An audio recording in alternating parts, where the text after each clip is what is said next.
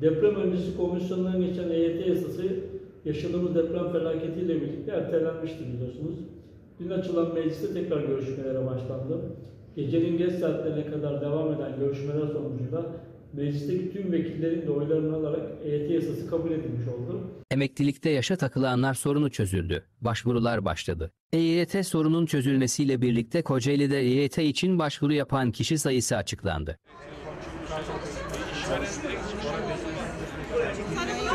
Çalışıyor muyuz? Çalışıyor muyuz?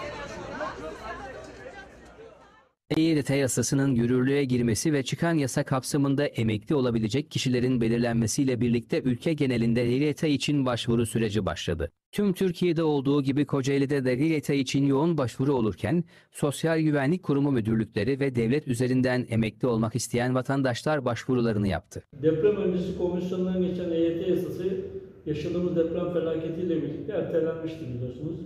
Dün açılan mecliste tekrar görüşmelere başlandı. Gecenin geç saatlerine kadar devam eden görüşmeler sonucunda meclisteki tüm vekillerin de oylarını alarak EYT yasası kabul edilmiş oldu. Bundan sonraki süreçte Cumhurbaşkanı'nın onayına gidecek ve sonra resmi gazetede yayınlandıktan sonra da e, bütün arkadaşlarımız başvurularını ilgili kurumlara veya E-Devlet üzerinden yapabilecek. Son olarak EYT yasası kapsamında Kocaeli'de 76 bin kişinin başvuru yaptığı öğrenilirken, Sosyal Güvenlik Kurumu müdürlüklerinde az sayıda personel ve büyük gayretle başvuruların yoğun bir şekilde devam ettiği öğrenildi.